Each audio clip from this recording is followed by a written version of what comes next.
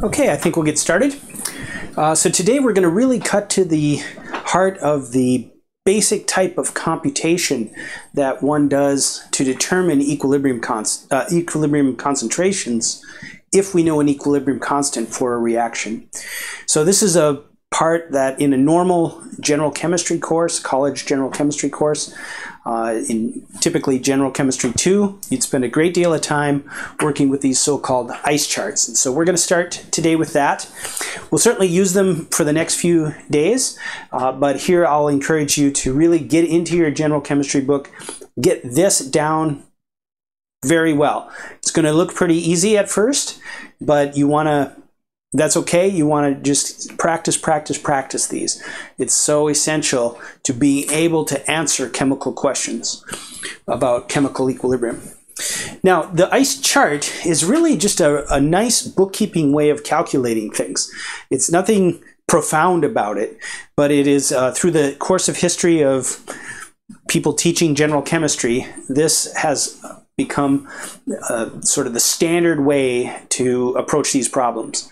And the basic problem is if we've got a chemical reaction and we got the equilibrium constant, if we mix certain concentrations of reaction reactants and products, what do we have at the end? What does it come to with at equilibrium? So that's sort of the central question of an equilibrium problem.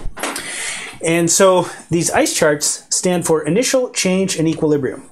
So we write down the initial amounts. We let an unknown variable x represent the change. And then we use the stoichiometry of the reaction to relate those changes to one another. And then we subtract uh, the initial from the change to give us the equilibrium amount. Now, I think the only way to understand this is to do some. So let's, I'm going to go through three examples here. And then, uh, again, I really encourage you to pound away on many examples in, in your book. And uh, every general chemistry book you have will have a lot of examples on these. Okay, so let's let's take the first example. So we've got an aqueous, everything's aqueous. Uh, A plus 2B goes to C. So there's our stoichiometry. 1A, 2 moles of B, and one, make 1 mole of C. The equilibrium constant is given to us here, so that it would have to be given to us. And we're told we're going to start with no C around, uh, so very typical experiment, we start with no C and then we're going to mix A and B together such that the concentration of each is one molar, just to make things easy. Could be anything though. So how we set up the ice chart is we write the letters I, C, E down the side. We make a grid down the this column and then A, B, C as headers for columns. And then we say in our initial 1, 1, 0. So that we just take what's given to us there. And then we say, okay, I'm going to let the unknown variable x represent my change. And I'm going to want it positive. I mean, you could do whatever you want here, but it, we know this is a reaction that's going to reduce A. So it's good to say, okay, I'm going to let the change in A be minus x because it's going down. That way x will be a positive number. If that's true, then by the stoichiometry, the, minus, the change in B is minus 2. And that's coming straight from the stoichiometry. And the change in C is x, because okay, x goes up. If A comes down by x, A goes up by x. Okay. Notice, this is interesting here. So we're, the, we're in concentrations. So the ice chart is dealing with concentrations. Um, when we work with a reaction, I often tell my students it's always, always, always moles when we look at the stoichiometry here. So when we do a conversion from A to C, it's a mole conversion. But we get away with this because it's all happening in the same beaker. And uh, so uh, we can do work directly with concentrations, and that's a nicer way to go because we are going to connect with the K, which is expressed in terms of concentrations rather than moles. So you could do it with moles, but it would be a lot of extra steps. So we work with concentrations here, which is okay. So we're using a stoichiometry even though we're talking about concentrations rather than moles. All right, so now we write the equilibrium. So at equilibrium, this will be just whatever we started with, minus what we changed. And then this will be whatever we started with minus what we changed. So 1 minus x, 1 minus 2x. And then c, this is really, so what this is really, 0 plus x. There, but we don't write that.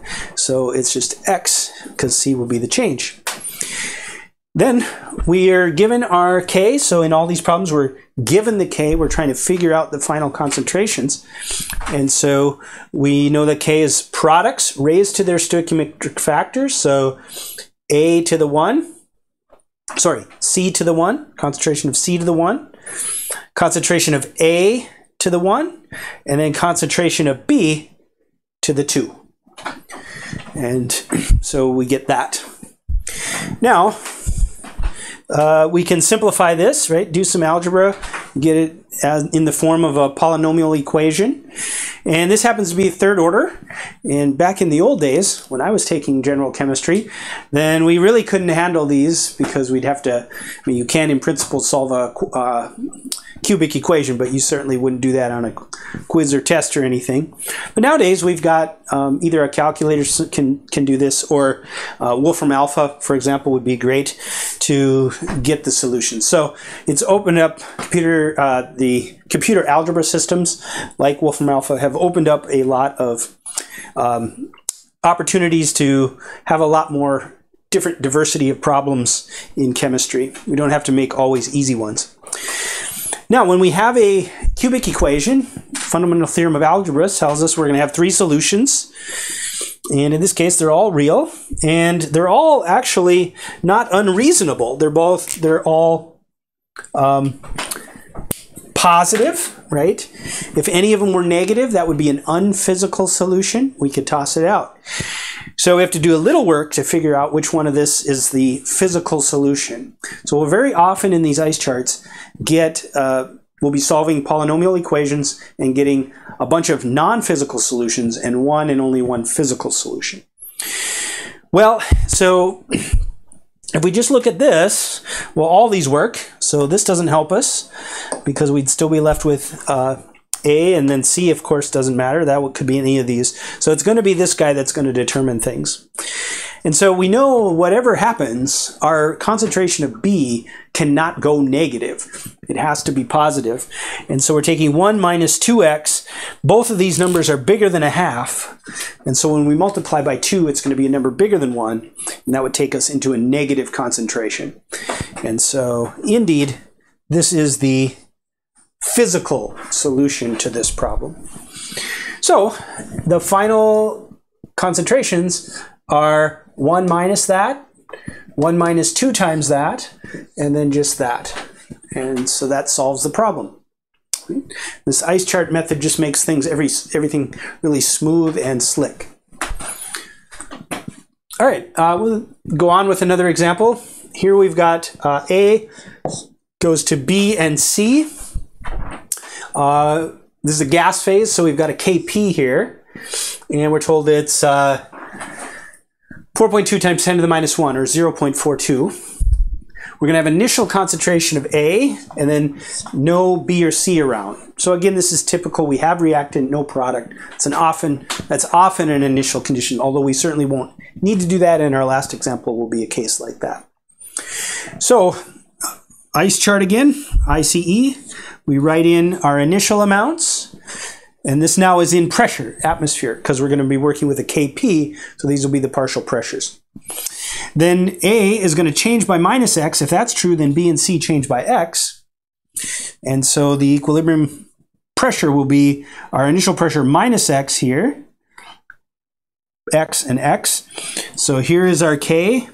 We've got partial pressure of B times partial pressure of C okay, both of which are x, over partial pressure of A.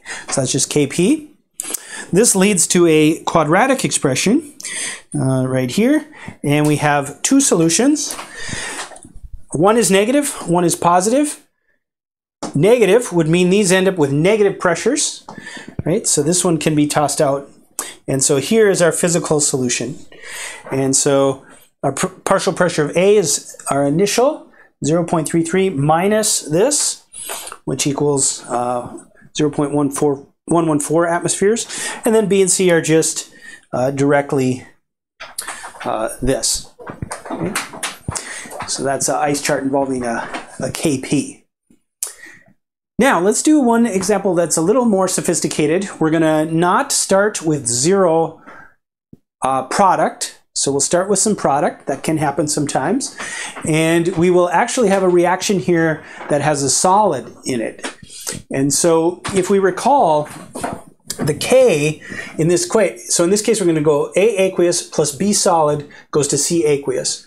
The K for that is going to be concentration of C over concentration of A, and then we don't use, we, we put in a 1, we put in a 1 or we just ignore it when we have a solid, liquid, or gas uh, in our K expression. So we just have this for our K. That will be our K. So we can write our ice chart. We could we don't need to include B here because that does not show up in the K. But just to kind of emphasize that point, I put B in here, and this none of this column matters, right? So that's not going to matter. The amount of B will change certainly. Um, and we do have to be, so we do have to be a little careful that this is the excess reagent. Right, we certainly could end up, what we would do is we would calculate this ice chart. Well, let me, let me talk about that at the end. So, all right, so then we have one and one. We're going to start with some product here now, C around. And I just chose them to both be the same. They could be anything. A is going to be a minus x, so C is going to change by x. And so this is going to be 1 minus x, this is going to be 1 plus x. Uh, we've got a k of 2.2, 2.12. And so here's our equation. We can solve this and uh, pretty readily, and we get, because uh, it's just a linear equation, uh, 0.359. There's only one solution here because it's linear, and so this is a real physical solution. And so then we have that. Let me come back to what I was uh, starting to say earlier. If, so one thing we should check is if we were given a certain amount of B, like we had uh, two grams of B or something like that, then we would want to make sure that when we consumed this much A, is there still enough B around? So this could be a pretty, a pretty uh, complicated problem uh, where they would give you the problem and B would actually be the limiting reagent and we wouldn't actually make it to our um, equilibrium before running out of B.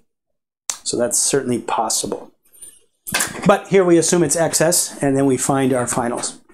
All right, so hopefully uh, you could follow this pretty easily. Um, definitely see if you can just start with a blank sheet of paper, take a problem out of the book, see if you can get construct the correct ice chart. Try to work with a variety of different reactions, uh, different starting amounts, and um, get really good at this. So it's worth pausing, going through the videos here for, for a while, and really focusing on um, getting this down.